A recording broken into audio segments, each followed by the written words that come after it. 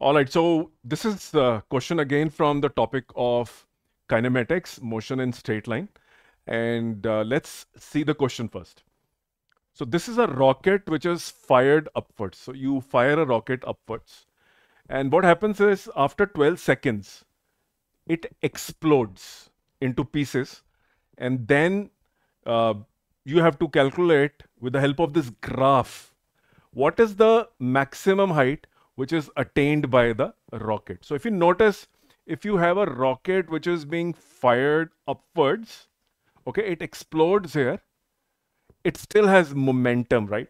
So obviously it was, this is acceleration, right? Because the slope is positive. This is the positive slope, right?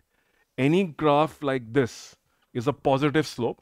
If the slope is like, it's a negative slope. So this is acceleration.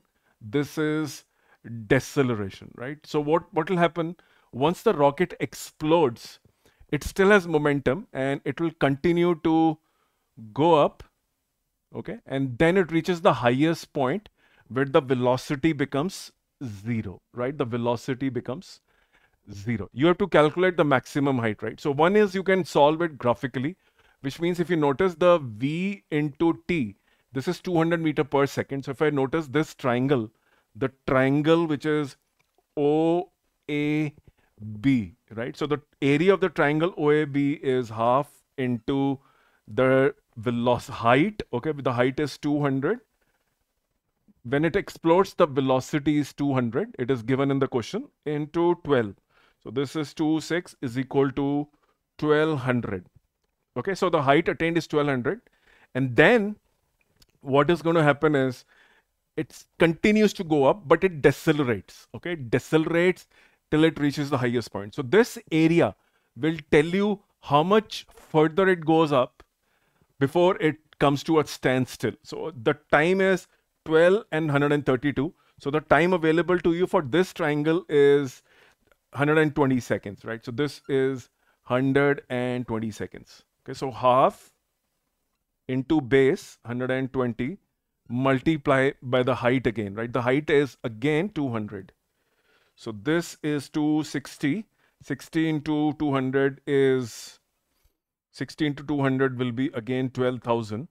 Okay, so it continues to move till 12,000 meters more, you know, after the explosion.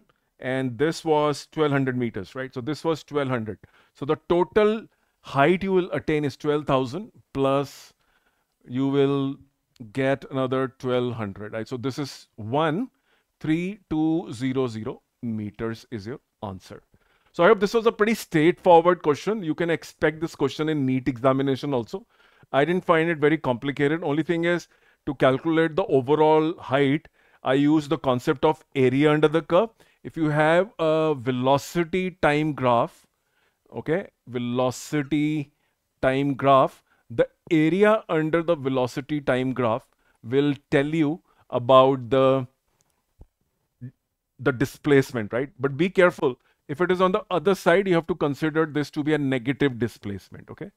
This is negative displacement. So if this is coming out to be 2, for example, and this is minus 2, your net displacement is 0. But your distance is 2 plus 2, okay? So I hope that made sense. That is just a quick uh, tip for you. So this was a simple question. Go and watch my playlist on motion and straight line. Please also ensure that you don't miss a single question on this channel. You will see some questions that are coming straight from this channel in your examination of CBSE, NEET, JEE Mains, AP Physics, IB Board and stuff like that. Thank you very much.